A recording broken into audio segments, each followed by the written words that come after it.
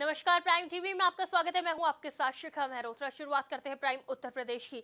लखनऊ के मोहनलालगंज के एक गाँव में झाड़फू की आड़ में किशोरी से दुष्कर्म करने वाले मौलाना को पुलिस ने गिरफ़्तार कर लिया है, जिसके बाद उसे जेल भेज दिया गया। वहीं पुलिस के सामने मौलाना ने जुर्म कबूल कर लिया है। आपको बता दें कि पंद्रह वर्षीय किशोरी अपनी माँ के साथ गाँव में स्थित मस्जिद के मौलाना से उन्नाव के पास झाड़ के लिए जाती थी।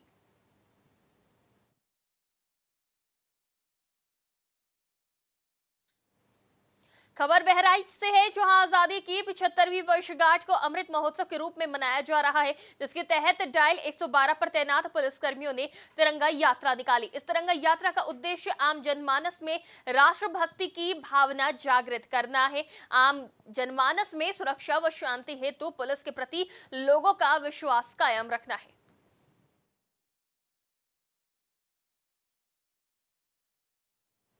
गोंडा के थाना कौड़िया क्षेत्र के घुचुआपुर मौजा में एक व्यक्ति का दिन दहाड़े अपहरण हो गया। आपको बता दें कि अपहरणकर्ता ने व्यक्ति से 11 लाख की फिरौती मांगी। वहीं परिजनों द्वारा पुलिस को सूचना दी गई, जिसके बाद सूचना मिलते ही घटनास्थल पर पहुँचे एसपी ने घटना का जायजा लिया।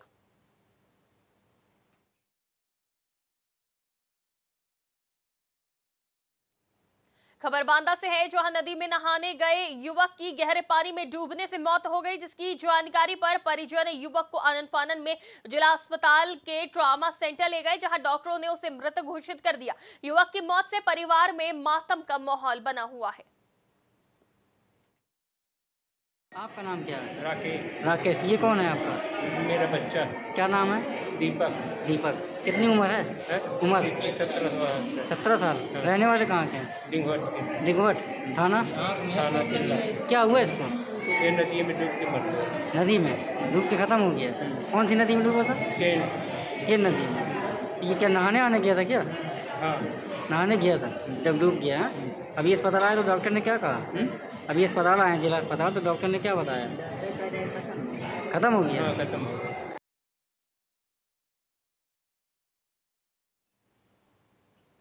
बुलंदशहर में अपराधों पर अंकुश लगाने के लिए चलाए जा रहे अभियान में थाना नरसीना पुलिस ने एक अधिसूचना जारी करी है, जिसके चलते मोबाइल चोरी करने वाले गिरोह के छह शातिर सदस्यों को दो मोटरसाइकिल और चोरी किए गए सात मोबाइल फ़ोन के साथ गिरफ़्तार किया गया है। पुलिस की पूछताछ में पता चला है कि अभियुक्त से बरामद मोटरसाइकिलों का प्रयोग मोबाइल की चोरी में होता था। नरसेना थाने में छः व्यक्तियों को गिरफ़्तार किया गया है जिनके पास से सात मोबाइल, एक मोटरसाइकिल चोरी की, एक मोटरसाइकिल घटना में प्रयुक्त, एक अवैध तमंचा, दो कारतूस, तीन चाकू बरामद हुआ है। जो मोबाइल बरामद हुए हैं, जब उनसे छानबीन की गई उनकी तो पता चला कि एक मोबाइल उसमें से नरसेना में लूट हुई थी, सात तारीख की घटना थी वह लूट से संबंधित है, और एक मोबाइल उनके यहाँ चोरी की गई थी, जो उसी महीने की थी वो उस चोरी से संबंधित है। एक खानपुर में चोरी की गई थी, उससे संबंधित मोबाइल है। जहंगीराबाद में इसी तरह एक जून महीने में घटना हुई थी, जिसमें एक मोबाइल और मोटरसाइकिल चोरी की गई चंदौली के कलेक्ट्रेट में आयोजित किसान दिवस में जमकर हंगामा हुआ। वहीं आक्रोशित किसानों ने किसान दिवस का बहिष्कार किया। आपको बता दें कि बैठक में किसान डीएम संजीव सिंह के कम समय दिए जाने से नाराज़ हो गए थे। साथ ही किसानों का आरोप है कि डीएम के पास किसानों के साथ बैठक के लिए एक घंटा भी नहीं है।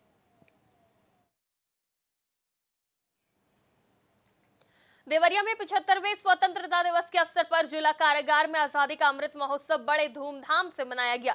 वहीं कार्यक्रम की शुरुआत दीप प्रज्वलित कर की गई। साथ ही कार्यक्रम के दौरान कलाकारों ने नृत्य, गीत प्रस्तुत कर अपनी अपनी कलाओं को उभारा। वहीं कार्यक्रम में जेल प्रशासन ने तिरंगा यात्रा भी निकाली। कार्यक्रम के समापन के बाद सभी कलाकारों को पुरस्कृत किया गया। साथ ही मिठाई भी बांटी गई।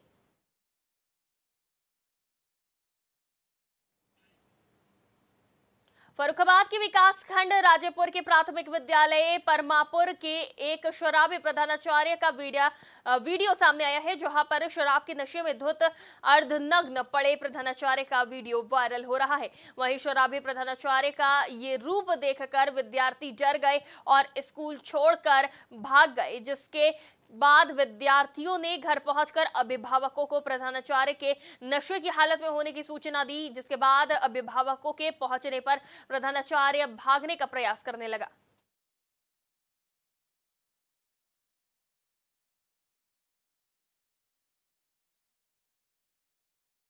मैं प्रतिदिन देखता हूँ कभी कभी बच्चे डर के भाग जाते हैं दारू पी के मान लीजिए कभी कभी तो रोज भी दारू पी के आते हैं अच्छा। लेकिन कभी ज़्यादा कभी कम आज अच्छा। इतनी दारू पी ली है कि समस्या बहुत ज़्यादा ही बढ़ गई और बच्चे भी घबरा गए हैं और इधर उधर कच्छा उतार के पैंट उतार के और इधर उधर घूम रहे थे और स्कूल में लौट रहे थे और बच्चे भाग गए इसीलिए देख के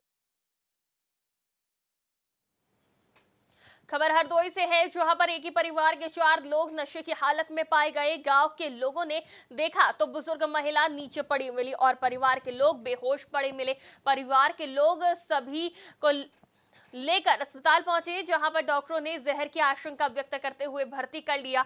सभी का इलाज चल रहा है, हालाँकि पुलिस को कोई सूचना नहीं दी गई है।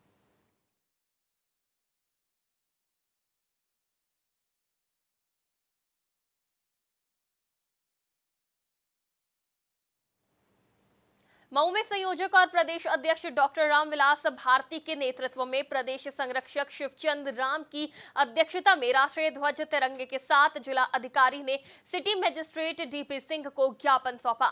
बच्चे को पीट पीट कर हत्या करने वाली घटना के खिलाफ न्याय के लिए संवैधानिक दायरे में प्रतिरोध मार्च करते हुए शिवचंद्र राम ने कहा कि जालोर में इंद्र कुमार के हत्यारों को कठोर संगत धाराओं में कार्रवाई की जाए, साथ ही इंद्र कुमार मेघवाल के परिवार को सामाजिक आर्थिक रूप से सुरक्षा और कानूनी संरक्षण प्रदान किया जाए।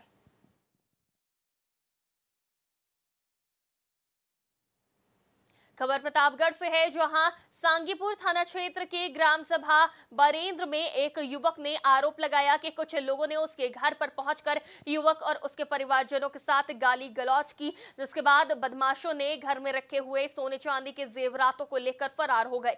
साथ ही पीड़ित का यह भी आरोप है कि शिकायत करने के बाद भी पुलिस ने इस मामले में कोई कार्रवाई नहीं की है।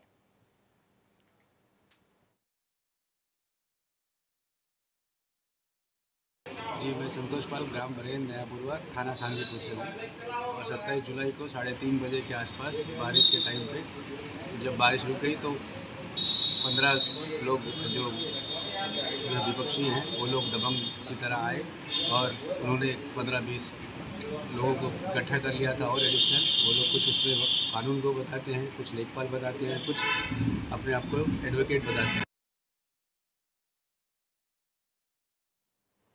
खबर सिद्धार्थनगर ज़िले के डुमरियागंज थाना क्षेत्र से है, जहाँ कुएँ में, बोरे में पड़ी गौवंश की हड्डियाँ मिली। वहीं इस मामले को लेकर मौके पर पहुँची पुलिस ने जाँच पड़ताल शुरू की। बता दें, इस मामले में सीओ ने कहा कि अज्ञात लोगों के खिलाफ मुकदमा दर्ज किया जाएगा और दोषियों के खिलाफ कड़ी कार्रवाई की जाएगी।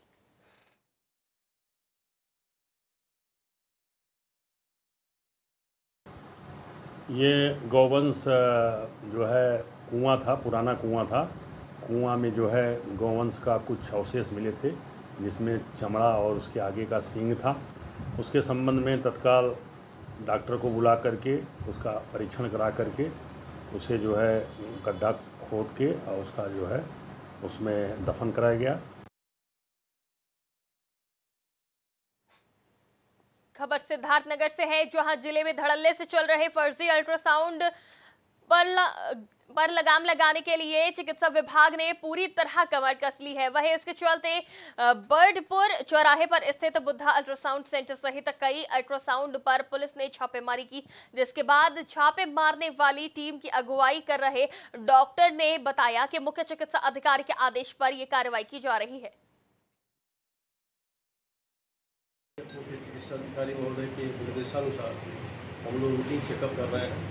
उसके तहत बुद्धा अल्ट्रासाउंड सेंटर को देखा गया और यहाँ पर बिना डॉक्टर के टेक्नीशियन द्वारा अल्ट्रासाउंड किया गया हुआ पाया गया और यहाँ कोई डॉक्टर नहीं है। उसके बारे में हम लोग नोटिस दे रहे हैं उसे जो है एक्सप्लेनेशन दिया जा रहा है और उसके बाद जो भी सर रजिस्टर्ड है या आपके विभाग से? रजिस्टर्ड तो है लेकिन रिन्यूअल नहीं। खबर गाजियाबाद से है, जहाँ की पुलिस ने एक ऐसी महिला को गिरफ़्तार किया है जो पौश इलाकों में मेड का काम करती थी और मौका मिलते ही घर से लाखों के गहने और कैश लेकर फरार हो जाया करती थी। पुलिस ने इसके पास से तीन लाख के जेवरात भी बरामद किए हैं। साथ ही गाजियाबाद पुलिस अब इसकी एक और साथी को ढूँढने में लगी है। अट्ठाईस सात दो हज़ार बाईस को इंदिरापुरम थाना क्षेत्र में स्थित एटीएस सोसाइटी में दो महिलाओं द्वारा चोरी की गई थी सोसाइटी में। जिसमें एफ़ आई आर पंजीकृत करके लगातार टीम लगाई गई थी। और आज इंदिरापुरम थाना सीओ इंदिरापुरम के नेतृत्व में थाना इंदिरापुरम की टीम ने एक महिला चोर को पकड़ा है, जिससे करीब तीन लाख की ज्वेलरी बरामद की गई है। और महिला चोर पे अभी तक जो हम लोगों ने पता किया है, करीब 26 मुकदमे दर्ज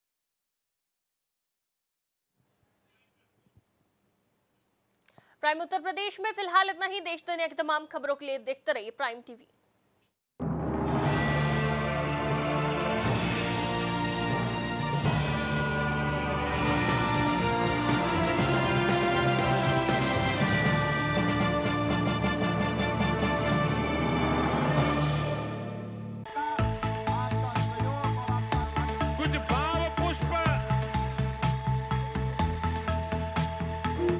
देख रहे हैं प्राइम टीवी सच साहस सरोकार।